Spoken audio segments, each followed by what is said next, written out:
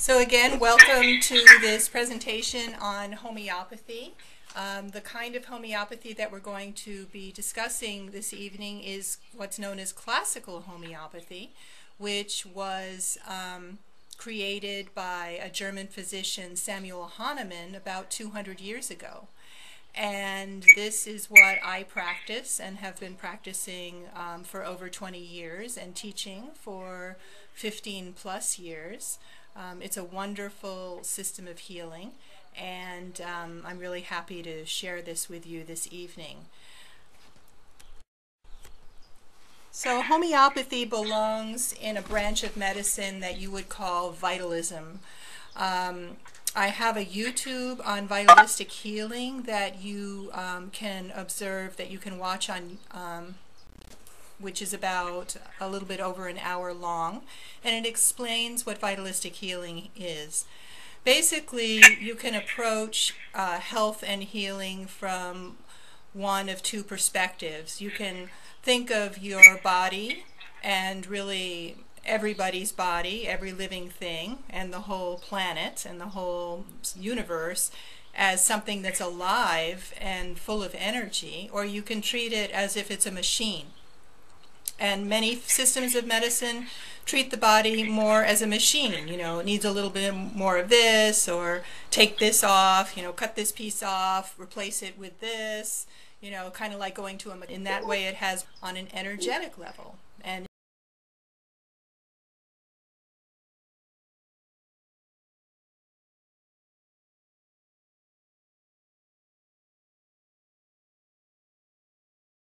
has more in common with uh, acupuncture and even Reiki than it does with um, allopathic medicine or mainstream medicine, even though we use little white pills and it seems very medical in a certain way, but it actually is an energy medicine and it's based on this concept of vitalism that your body is an energy system and it has a your body as an energy system has a connection with other energy systems in plants, in other people.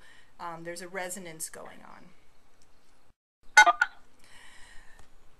Another way that we can classify different ways of treating disease um, includes um, antipathic, um, substitutive, and homeopathic. So first I'm going to, and I'm going to go through each of those. So um, I'll explain uh, antipathic first. Anti means against, pathy means the, um, the disease.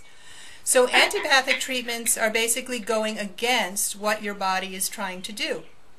A good example of an antipathic treatment is um, if someone um, has a fever and you take an aspirin or a Tylenol, that brings the fever down.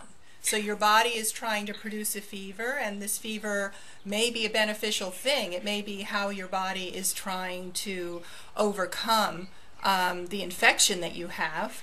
And then, so your vital force is doing this, creating a fever, and then you have the antipathic um, medicine coming and uh, and putting it down. Am I muted again? No. I hope everybody can hear me. Somebody said they can't hear me. Um, can other people hear me? Yes, I can hear you. Okay, thank you, Shauna. Okay. So, um, anyway, so this kind of treatment is a good thing if life is at stake. Of course, if somebody um, has a, has had a stroke and they need a medicine that's going to dissolve the clot and open up um, that artery again, of course, um, the antipathic medicine is saving a life, so it's a good thing. Um, so, as an emergency medicine, antipathic treatments are good. I don't think there's any any kind of medicine that's inherently just evil and bad but it just depends on whether there's something that's more supportive of the vital force. And antipathic treatments have the effect of suppressing the vital force. So if you rely on antipathic treatments um, a lot of the time, you're basically weakening your vital force. Um, so taking an aspirin, taking an antihistamine, anything with the word anti in it. You know, if you're having an allergic response and you take an antihistamine to get rid of the allergic response, you're basically suppressing what your body is trying to do. Uh, so that is an overall effect, as I said, of um, basically suppressing the vital force and weakening the vital force. Substitutive treatments are ones that are doing the job of the vital force. Here we see some insulin here, like uh, um, somebody with um, type 1 diabetes whose body is not producing insulin, and then we give insulin as a medicine. That's a substitution. Um, and, and again, substitutive uh, treatments can uh, save lives, so uh, it can be good in the right um, arena.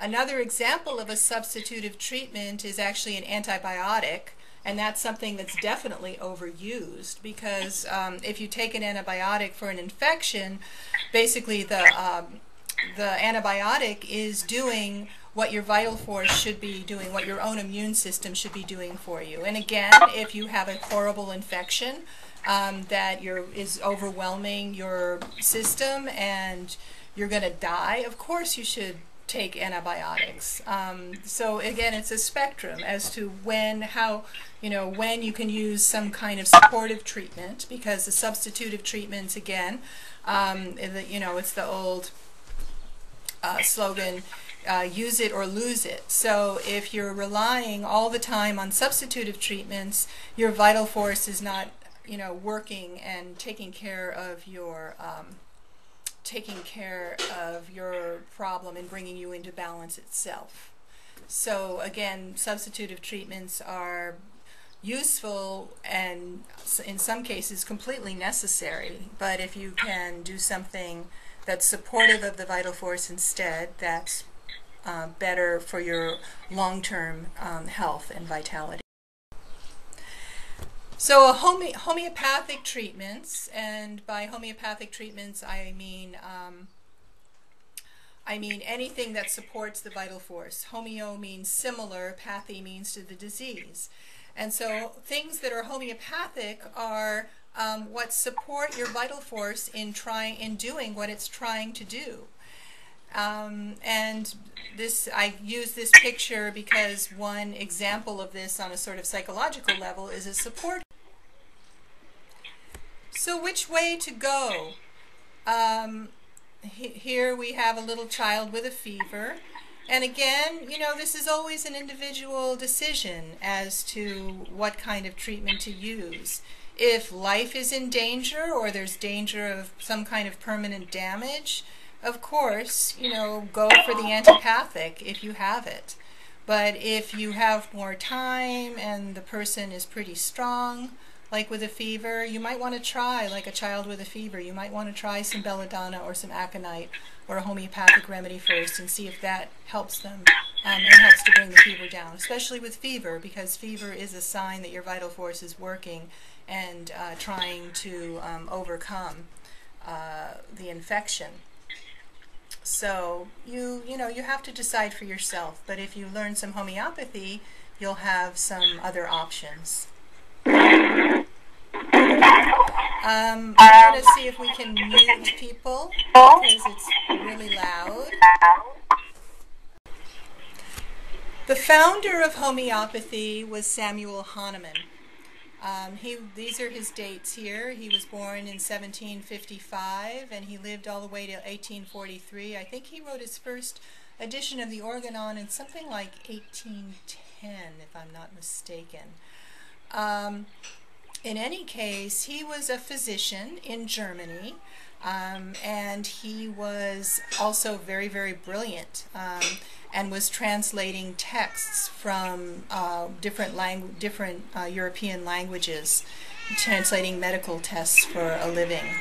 Um, and so he read an interesting um, statement in one of the texts that he was reading, which said that cinchona, which is uh, quinine, Peruvian bark, worked on malaria because it was bitter. And by this time, by the way, he had all, he was not practicing medicine because he felt that the doctors of his time were doing more harm than good. They were putting leeches on people and dosing them with toxic um, toxic drugs like mercury to get rid of syphilis. And so he was doing this translating instead. So he read this statement and he decided to try some quinine bark, some Peruvian bark. And what he found is that he developed chills and fever, which are, uh, you know, main symptoms of malaria.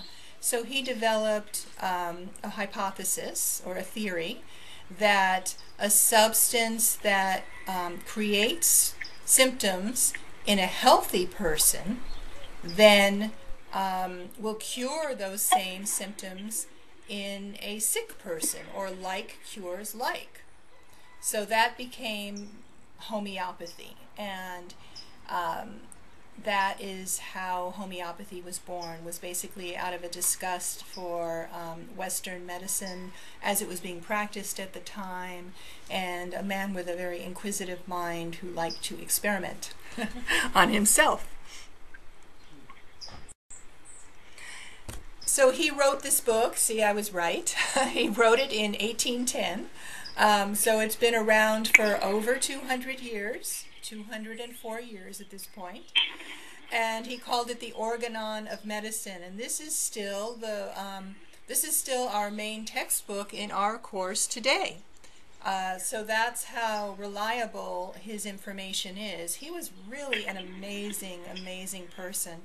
Uh, one of the things he wrote um, for example, was that uh, at the time people with mental illness were considered to be possessed by demons and they were being punished by being chained and whipped and basically treated as if um, they had deliberately done something wrong and were treated very, very brutally, just horribly abused. And he said these people um, should have our sympathy and compassion because they have an illness. So he was clear minded enough to see what people in the society, in the normal society, could not see at the time.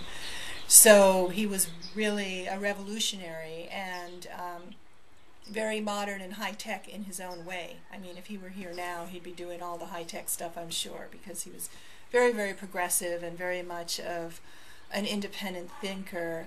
Um, he had a huge issue with um, physicians who did not make their own medicine because he felt that the whole pharmaceutical industry at the time, if you can believe it, uh, more than 200 years ago, was just completely um, corrupt. And that the only way that you could get around it was by making your own medicine. So he was absolutely insistent that doctors should be making their own medicines and never buy things from a phar- pharmaceutical company. so you can see some things some things haven't changed all that much since Hahnemann's time. Um, at least in our country, it mm-hmm. seems to be the pharmaceutical industry just seems to be a huge lobby, a huge uh, money making lobby. Um, so that is an interesting interesting point. And, you know, he had a, a very strong personality, too. He was quite bullheaded. Um, and so uh, he made a lot of enemies, but of course, he also had lots of people who admired him and just were in awe of what he was doing because not only did he create this incredible system of medicine, he he cured sev- uh, several horrible epidemics uh, that were going on um, at the time. And actually, um, homeopathy's brilliance and fame really came through the treating of epidemics, of epidemic disease. It's really an incredible. Um, we should do. We should do um, a class just on epidemic disease because it's just really fascinating. So, as I mentioned, um, like cures like is the main principle of homeopathy. So, a substance that causes um, symptoms in a healthy person, in this case, we have coffee, which um, as a homeopathic remedy is Coffea cruda. Uh, so if you drink a cup of coffee, it makes you um, makes it hard to sleep, makes you awake. Um, but if you take it homeopathically, Coffea becomes um, a remedy that cures insomnia. So like cures like. in a healthy person, coffee keeps you awake. So if you're awake and having trouble sleeping, if you take homeopathic coffee, it's going to help you sleep. That's like cures like. Here's another example. Um, another one of our best remedies for um, colds and allergies when you have like a really runny nose and your eyes are tearing is allium cepa, which is red onion. And of course, anybody who's ever cut open an onion uh, knows what onion does to you. It causes all of this tearing and um, also some nasal discharge and burning in the eyes, etc. So um, again, like cures like. Homeopathic allium cepa, um, great remedy for um, hay fever and um, cold.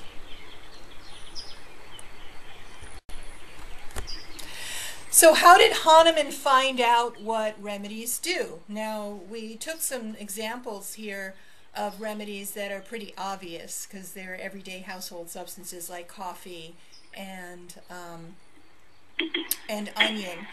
But um, there's also um,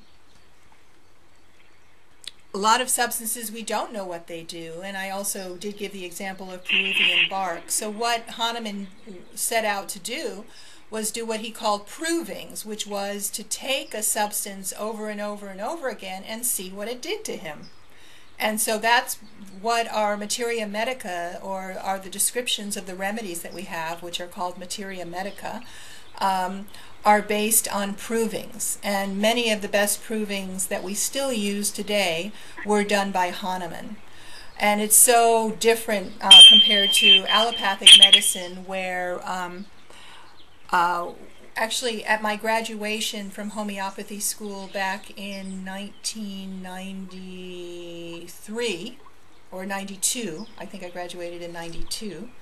Um, we had a medical doctor who was also a homeopath come and give the commencement speech. And he took a big PDR, Physician's Desk Reference, which is this big, huge, thick book, which I think has to be reprinted every single year. And he threw it on the ground and said, This is the gravity of the situation. He said, This book is out of date all the time. Whereas our homeopathic materia medicas, they're never out of date. We're still using the information that Hahnemann gathered. Uh, sometimes things are expanded and there are new remedies that are proven, but um, the system remains the same and the information that we have on remedies, we don't say, oh, oh no, that doesn't work anymore. We didn't mean that. Or, oh, it didn't, it, you know, there's this side effect. For one thing, homeopathy doesn't have side effects, but um, the information just expands. It doesn't it doesn't go out of date the way that um, allopathic uh, medical information does. What do we use for remedies? Um, again, um, we use not just plants and not just minerals, but also animals. Um, so a remedy can be from any kingdom, animal, vegetable, or mineral. In the animal kingdom, um, apis, for example, is bee venom. Um, it's a great remedy for stings and swellings, etc. There are quite a few snakes and spiders in the homeopathic materia medica. Um, we have different kinds of milk, including human mother's milk, which is um, a really useful remedy uh, for people who had, you know, birth trauma, things like that. Um, and we use the Latin names. So even if two homeopaths are talking to each other and they speak different languages, they may um, they may not be able to understand everything they say, but the, the, the names are always the same because we use the Latin names for all of our remedies, whether animal, vegetable, or mineral. So in um, from the vegetable kingdom, lots of herbs that are used medicinally are also used homeopathically. Um, but also foods um, are used, as I've already mentioned, coffea and onion as two examples. Onions and coffee are both homeopathic remedies, as is uh, milk. So um, it there's well, milk is uh, milk is from the animal kingdom, but anyway, uh, vegetable kingdom, vast amounts of information. And when homeopathy spread to India um, and uh, became huge in India, I don't know if you, I think there are a few Indians on this call, um, but in India there are homeopathic medical schools, four-year medical colleges. Um, there are homeopathic hospitals where you can get treated for cancer and heart disease and all kinds of things. We've really, in our course, we um, have some Indian doctors who teach some of the advanced lectures, and the kind of work they're doing is amazing in India because homeopathy is just a kind of mainstream medicine. Um, so, anyway, in India, when uh, India really discovered homeopathy, a lot of the Ayurvedic herbs started becoming homeopathic remedies as well. So we have some interesting um, additions to the homeopathic uh, materia medica from India as well. And in the mineral kingdom, um, we have a lot of different minerals. Um, one of my teachers, Jeremy Sherr, has the uh, goal to prove the whole um, the whole periodic table because then we'd have a whole kingdom done. And so he's been working on that. I was actually um, part of the neon proving. I, I did a couple of provings with Jeremy Sherr and learned how to do provings from him. Uh, so provings are still being conducted to this day. And um, this is the periodic table. Um, and yeah, a lot of these have already been proven, and the salts, which are the combinations of different ones, for example, natrum muriaticum, calcarea carbonicum. Many of our mineral remedies are very important for children, very important constitutional remedies.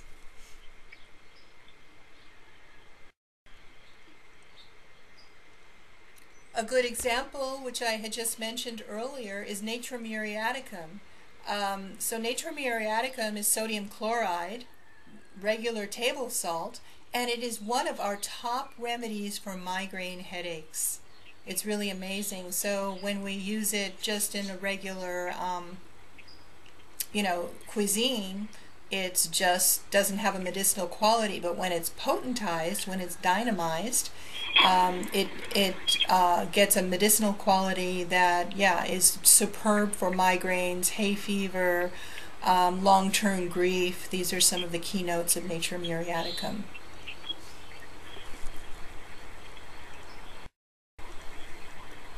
Another principle of homeopathy is dynamization. So when Hahnemann, uh, his first principle was this uh, like cures like, that you take something that causes those symptoms in a healthy person and you give it to the sick person.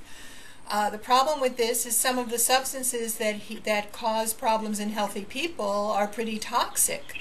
So he just he created a system of dynam, dynamization which releases the energy of the substance um, while letting go of the side effects. So there's no longer the actual substance, but we just have the energy of the substance um, available to us. And this is done through a process of what's called dilution and succussion, where it's put in water, the substance is put in water, and succussed, um, which is basically shaken or pounded, and then uh, put into another dilution. This is how homeopathic remedies are made, and um, the system for doing it was actually the homeopathic pharmacopoeia was put into um, the FDA at the beginning of when the FDA was founded back in the 1940s and is still there. So homeopathy is actually regulated by the FDA. It was one of the first things to get F- regulated. And so the whole system of preparing homeopathic remedies um, is registered with the FDA. Interesting fact. so here's uh, somebody. Uh, doing dilution and succussion, as I was mentioning earlier. Um, you can. This is done in, in a pharmacy where she's actually pounding the remedy um, on the um, on the bench there. I think uh, Hahnemann was doing it on a Bible, so kind of a leather book.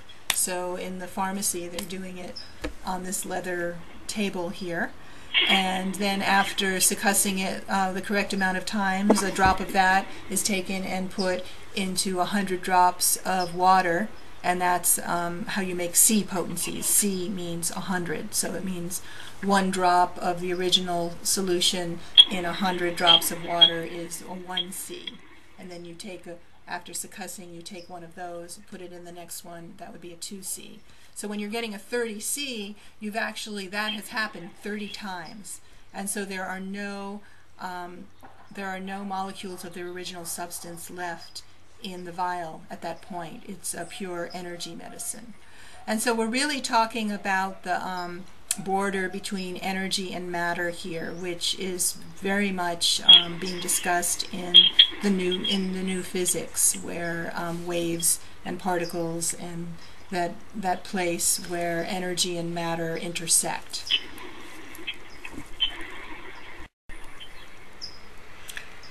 So when you get a homeopathic remedy in a um, in the store, they're they're not in these quaint little vials. Mostly, you're getting the Boiron blue tubes, which are decent remedies, but they're on little lactose pellets.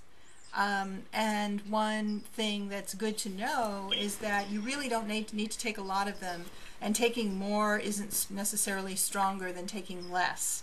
So uh, even like, for example, if you use oscillococcinum, which is a great um, remedy for preventing flu, uh, and they give you those little those little vials that are about that big, and they tell you to take the whole thing, which is actually a lot of sugar. Uh, you can just take a few of those little pellets, and you can that one little vial can last you a long time.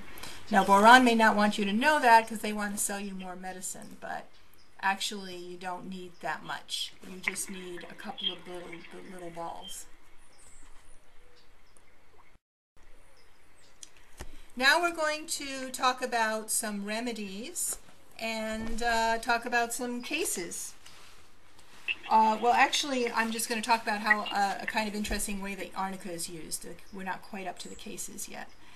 You may already be familiar with arnica. It's uh, the most common homeopathic remedy because it is so useful um, in all kinds of um, trauma, especially physical trauma. Um, you might experience uh, sore or bruised pain after an injury anytime anytime you bump yourself or hurt yourself or have any kind of trauma um, especially a head injury going to the dentist. It's a great remedy um, for stroke, um, can help after stroke, it can help um, during labor and after delivery of a baby, um, bruises, sprains, um, after having um, surgery to keep the swelling of the tissues down. It's also, it's not on this list here that I'm showing you, but it's also really a great remedy for um, jet lag. So it's a good thing to carry along, although uh, if you're going on an airplane, it's best to try to keep your homeopathic remedies from getting x-rayed, which means they have, when you go through security, you need to hand them uh, over to the officials and ask them to look at it and not have it be go through the x-ray machine. So it has many, many uses. Um, yeah, gout, malaria, meningitis. And one of the keynotes is that um, if you're in an arnica state, everything feels kind of bruised and sore, and the bed may feel too hard.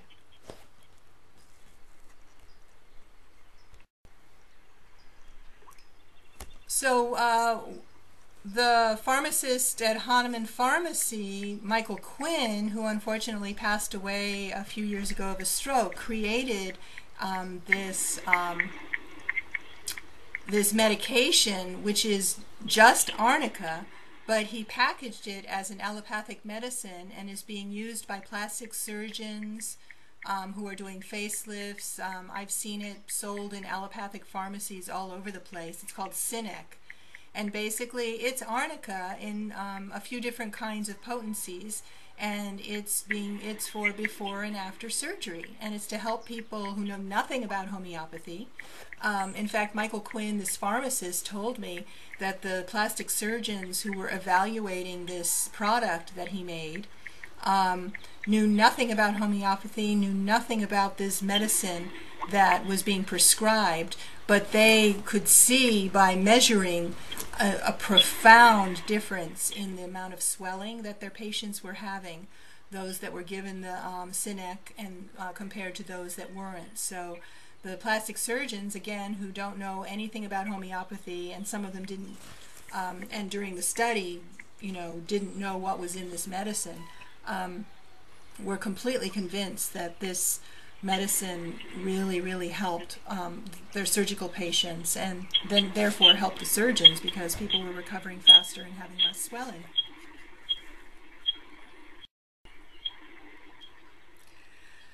Okay, so now we're going to start talking about some homeopathic remedies. Um, and the first one we're going to talk about is aconites. We have the ABCs at the nursery. We're not doing all three today, but the ABCs of the nursery, meaning the ABCs for children, is aconite, belladonna, and chamomilla.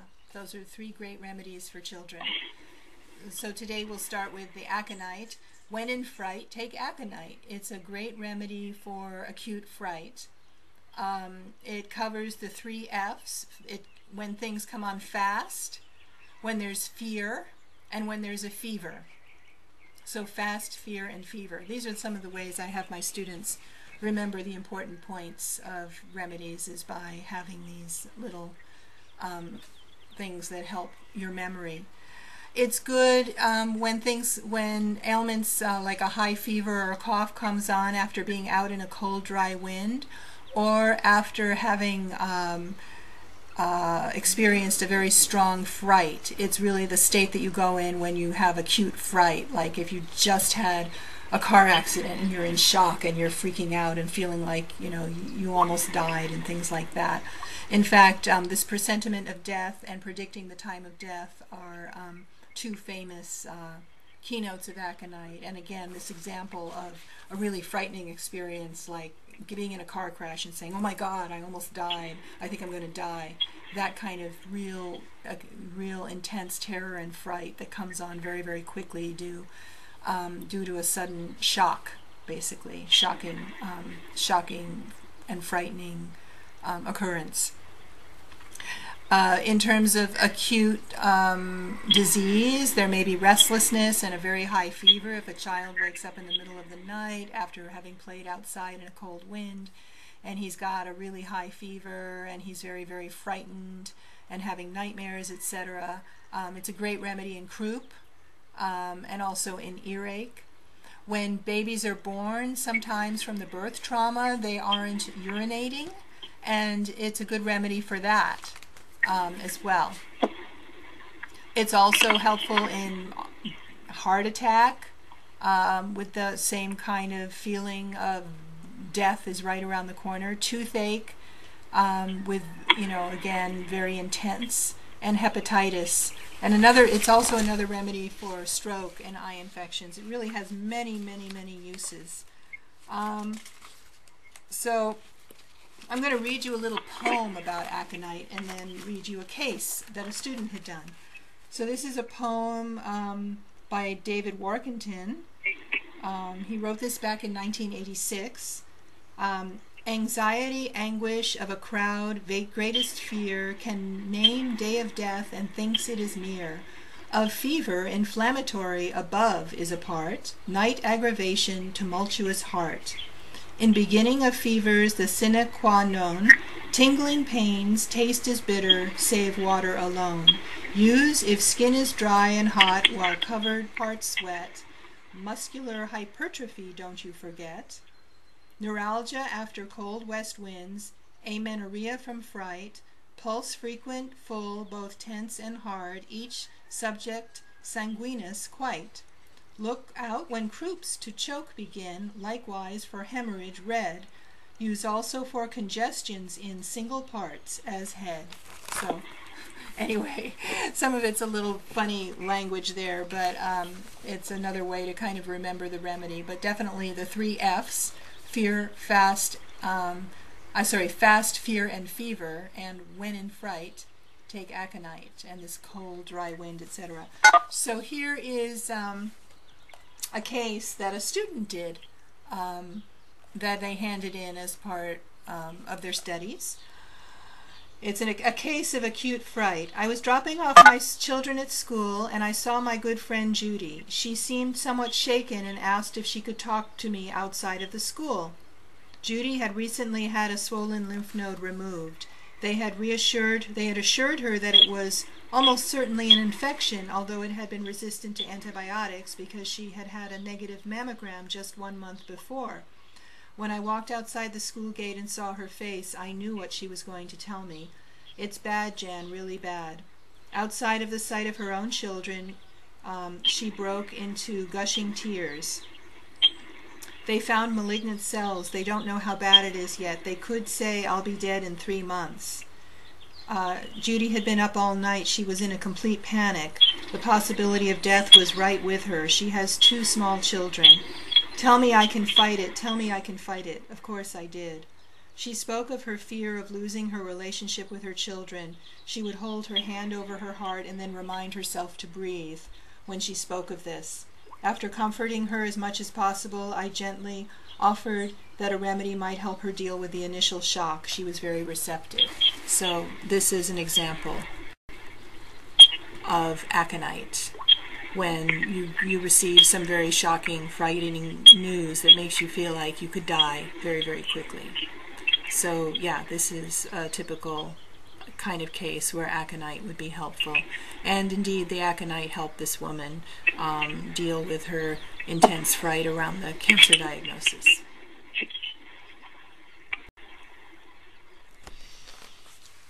Next remedy is another one that um, has a lot of acute emotional um, uses, which is Ignatia amara. And Ignatia, just as um, aconite is really good for acute fright, Ignatia is good for acute grief. When um, there's been a death in the family or some horrible um, disaster has happened and many people have died and you feel and your main your main feeling is grief and sadness um, at some kind of loss or some kind of huge crushing disappointment you really had your hopes set on getting into a certain college or getting a certain job or have something that you really really want to see happen and then your hopes are crushed um, and you're very very sad. Um, there's often a lot of spasming, twitching around the mouth, a lump in the throat. When you see somebody in acute grief, you'll see a kind of twitching, and the, they may describe having a lump in their throat. There may be a lot of sighing. Um, some other keynotes of aconite, um, which may or may not be present in this um, acute emotional state, include an aversion to fruit and an aversion to tobacco sauce uh, tobacco sauce, tobacco smoke, sorry. Um, and if somebody gets sick after um, having a sudden grief or loss, it's good for headaches, environmental illness, chronic fatigue syndrome, asthma, bulimia. These are just a list of different um, conditions that have been helped by aconite. So here is a case of aconite by a student, a case of perceived humiliation. A young student is very upset. Here are his words. It's really hard to talk about it. This just happened today. At the inaugural meeting of our class, everyone was supposed to go on stage and introduce themselves. This was somebody who was actually in our homeopathy school um, and one of the students um, in the program where I was teaching. I made an utter fool of myself. I stuttered, mispronounced, couldn't get the words, the right words to come out. I felt totally humiliated, really crushed. I simply can't get over it. The scene keeps repeating over and over in my mind. What an idiot I made of myself. I'm also really disappointed because I sensed some hostility from the people there, and I thought I was finally going to be with a group of people I could really vibe with. It feels uncomfortable to swallow food as though the food passages have narrowed. Observation, he seems to be pushing back tears now and then and is taking frequent deep sighs. So he has the sense of disappointment, feeling crushed, his hopes being crushed, and he's got this sense of um, ten, of uh, of spasm and constriction in the throat. and is sighing a lot. And uh, Ignatia helped him with this.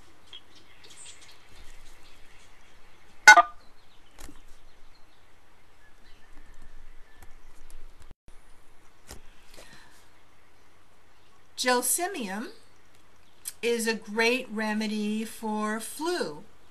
And so if um, most parts of the country, the kinds of the way the flu symptoms evolve is often different.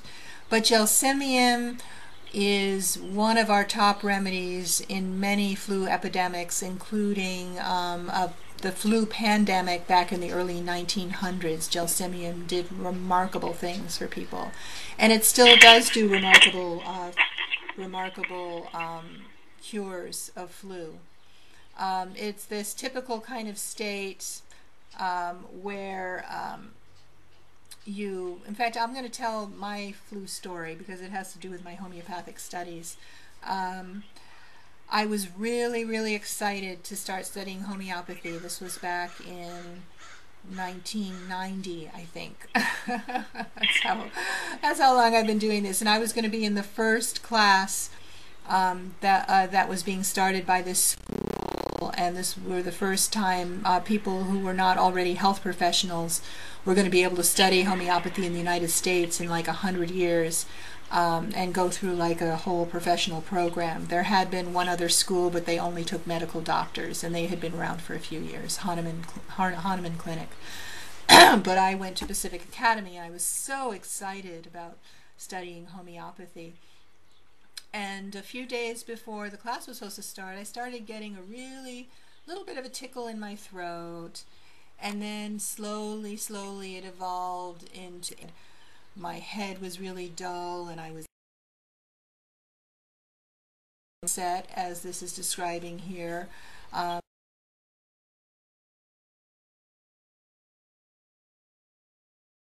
You feel like your head is just in a fog, drooping lid, lids, heavy limbs, weak, dull, sleepy, and trembling, um, thirstlessness.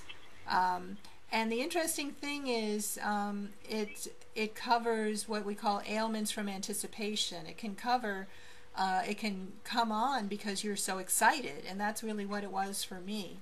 I took the gelsemium I went to see my homeopath, took the gelsemium. Every time I took it, I fell sound asleep and um, sweated like crazy. But unfortunately, I caught it too late, and um, that was the only class in my three-year program that I ever missed. Was the first session of my of school. But anyway, that's my gelsemium story. So it's also good for anticipatory anxiety. For example, if you're going to take a test or you need to get up on a stage um, and if you get weak and trembly and your mind stops working, um, it can, and especially if there's diarrhea involved with the anxiety, uh, gelsemium can be very helpful. So it's a remedy for flu, but it's also a remedy for anticipatory anxiety or just anything that happens, um, even ex, you know being excited and uh, about and anticipating something that's going to happen, and the excitement uh, bringing on this um, trembly, dull, um, tired, uh, foggy state. Here's another case, a student case, a case of droopy flu. A young woman had the flu. Since Sunday, she had been feeling very nervous and anxious about her upcoming wedding. She also found out that her best friend wouldn't be able to come, so she's having this kind of anxiety that we're talking about. Throughout Monday, she had episodes of trembling and weakness and some sneezing. Monday night, her menses started. She was very tired, but still found it difficult to sleep from the excitement. Then, during the night, she woke up with hot and cold sensations up and down her back. Again, these chills going up and down the spine, very characteristic of gelsemium. At bedtime, she developed a headache that felt like a band around her head. There was tremendous aching in her eyeballs. She feels droopy and heavy all over. So it's a very typical gelsemium case.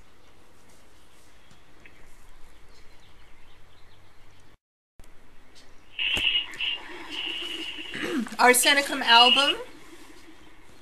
This is uh, homeopathic arsenic. And this is a really great remedy for panic attacks and general anxiety.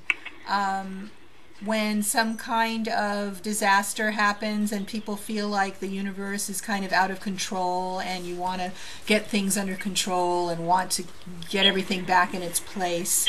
Um, there's a lot of compulsivity about arsenicum, of not really being able to, one of the um, things we study in the Materia Medica says unable to rest unless things are in their proper place. So wanting to put everything back where it goes and somehow feeling like there's some kind of reassurance that happens by having everything be where it, it, it um, should be. There may be some chilliness and some wanting heat. Um, a strain, what we call SRP here, um, this says SRP, strange, rare, that means strange, rare, and peculiar, meaning an unusual thing that kind of points to arsenicum is when somebody has burning pains, but those burning pains actually are better, feel better when you apply heat. Normally you'd think burning pains would be worse from heat, but with arsenicum they may be better from heat. They may be thirsty for small sips of um, something to drink and just taking little tiny sips if you go and visit them um, in uh, in the in bed and you know if somebody has a flu for example and needs something like this. Uh, the discharges coming whether it, it could be a cold it could be a flu it could be a cough arsenicum really is good for so many different ailments. It's one of our major remedies. Um, food poisoning flu allergies um, intestinal problems including colitis insomnia when the person is really restless and can't sleep at around 1 in the morning. It's even a great remedy in eczema. So um, we use it a lot. Arsenicum is really important. But in terms of acutely how you would be using it at home, you know, for um, kind of simple things, probably would be um, have to do with food poisoning and flu, and also just you know if if you uh, if you have some insomnia or occasional anxiety. Um, one thing I should mention is that the examples I'm giving are of acute homeopathy. Uh, this is the kind of thing you can do at home, like if somebody has a cold or a flu, or there's an you know acute fright, like um, a person just got a bad diagnosis and they're frightened or that kind of thing.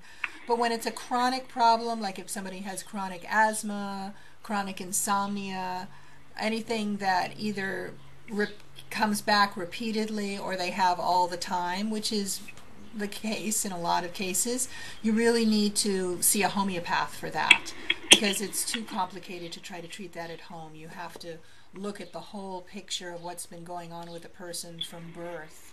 And uh, that level of homeopathy takes many years to study, and we teach it in our course. Um, but what I'm teaching you here is some remedies that you can use at home, you know, for these more what we call acute conditions. Acute conditions have a beginning, a middle, and an end, and then you're done. Whereas most of us, by the time we're um, middle aged and these days even earlier, on many of us have chronic problems, you know, things that just don't go away chronic joint pains, chronic headaches, chronic depression, chronic anxiety. Those kind of things we, you really need to um, see a homeopath for. So, food poisoning is one good example of um, how uh, homeopathy can help. Um, for example, uh, somebody went um, to uh, Mexico for a spring break and ate some foods that they don't normally eat, um, including a lot of spices, a lot of chilies, and maybe some things that weren't so clean, not really sure.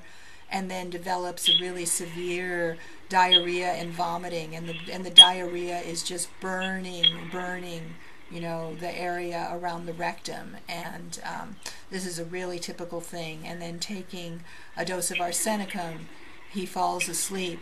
And when he wakes up, the symptoms are like 90% better. So that's arsenicum is really the remedy you should carry with you when you go traveling to a country and are um, that where you're going to be eating some kind of country like Mexico or India are two places I'm thinking of specifically um, where the weather is warm, so there may be pathogens that you're not used to, um, bacterias and things like that that your body's not used to. And when you eat the food, especially if you eat some raw food or you eat, um, you know, that hasn't been cooked, um, or you eat some chilies that your stomach isn't used to, you may develop these kind of vomiting diarrhea. And arsenicum is often the remedy that people need in those circumstances.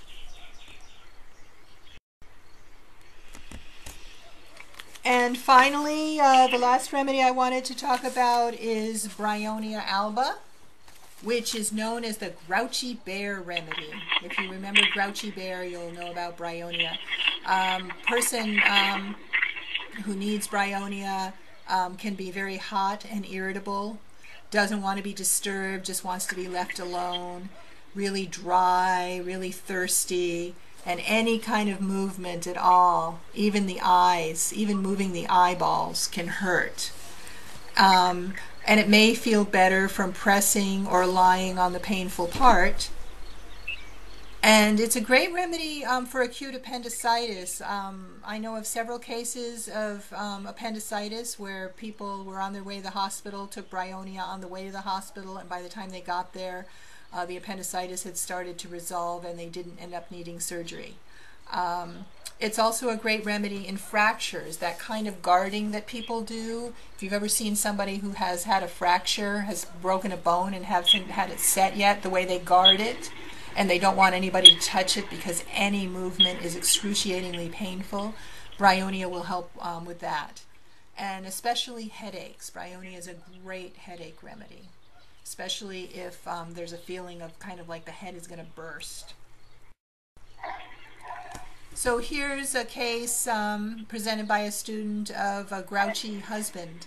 Uh, the student went came home one day to her normally sweet husband and he was just sitting there pressing his head and um, just looking like he was in intense pain and he just said uh, leave me alone leave me alone um, you know my head just hurt so much and he was just really cranky and really really thirsty and really hot and grumpy um, so she, having studied homeopathy, recognized the signs and gave him a nice dose of Bryonia 30C, and within 15 minutes, the headache started to resolve.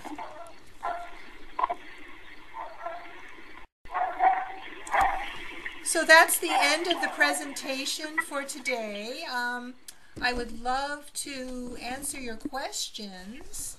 Um, if so what I'm going to do uh, is um, just you can go up to the floating bar up at the top of the screen and I think you should be able to unmute yourself. Yeah, does anybody have a question? I just heard an unmuting, I think. Anybody have a question? Well, what would you, Well, can you hear me? Yes, I can. Hi. Okay, so this is Susie. Hi. Hi, Susie. Hi. Yeah. So what? What? Um. So these ones that you uh, recommended this evening. What would you? What brand would you recommend that we actually use? Just an over-the-counter brand. Well, you know, um, Boiron is fine. Um, you can get those Boiron 30Cs in Whole Foods or in your local health food store. Um, so I think uh, 30C is a good potency. If you're not sure if it's the right remedy, you might want to go for a 6C or a 12C. We'll be talking a little bit more about potency uh, in our next class in part two. Uh, okay. But yeah, but okay. I, I, think the Boiron is fine. Um, for students in the program, I usually recommend that they buy kits where you get a lot of remedies. Um, you know, you can get a hundred, you know, 50 or a hundred or 300 remedies, and the price comes down quite a bit if you're buying large amounts of remedies. So, so what, what, what kits would you? Re- I don't really like the Boiron ones. I like, I like the, uh, like the Hylands how they dissolve. Yeah. Um, yeah, I just prefer those because I use them on my dogs, and it's easier for me to use them as well, and just for kids. You know, those little hard, little sugary balls. I don't really like them. But what do you, what do you recommend for kits? I like the Bengal Allen kits um, that are sold. Well, what's that? What's that brand called? Uh, B E A N. Sorry, B E N G A L Bengal Allen A L L E N, and they're made in India, but there is a distributor. His name is Kanishka. He's a very nice guy. Um, and I'm forgetting the name of the website, um, natural something or other. But if you Google Bengal Allen um, you, I think you'll come up with uh, his website, and he has kits that are very nicely Okay. priced, and um, many of I've been using them now for about mm, four years or so. Um, I use Hahnemann Pharmacy Okay. remedies quite a bit too, but now for my kits, I've been buying Bengal Allen kits because I've done a lot of traveling. I've gone to India and done service there, uh, treating people in um, places where there's no um, medical treatment and things like that. Um, so I was What was the other brand? You uh, just did another brand as uh, well. Hahnemann, Hahnemann Pharmacy. Hahnemann Pharmacy. Hahnemann, just like Samuel Hahnemann. Hahnemann Pharmacy is uh, who I usually Okay. use. Those are expensive. Um, uh, Oh, okay. but Okay. uh, the Bengal Allen are very good, good quality and good price. So, yeah. okay. Hope that okay. helps, Susie. Well, thank you for that. That's great. Yeah. Anybody else have a question?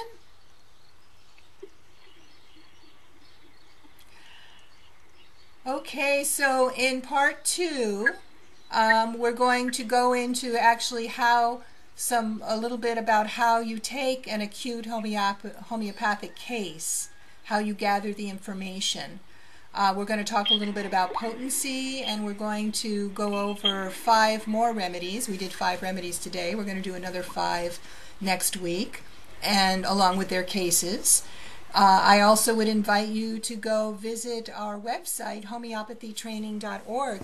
Um, on the lectures page, there are uh, many lectures that I've done on different topics allergies, children. There's one on um, flu and epidemic diseases that I did with an acupuncturist um, many a few years ago that gives some of the information about epidemics. So if you're interested in epidemics, you could listen to that. So you might want to look at the lectures page, especially uh, the lecture on the top of the lectures page is an introduction to the Caduceus program. Uh, so you could listen to that if you want to learn a little bit more about how our professional level program works. Um, because we have, as I said, a complete training in homeopathy. It's all done, it can all be done via distance learning, and we even have a clinical portion where we send you DVDs of chronic cases. Um, so, yeah, this is something that is doable from home. I'll just check in one more time to see if you have any questions.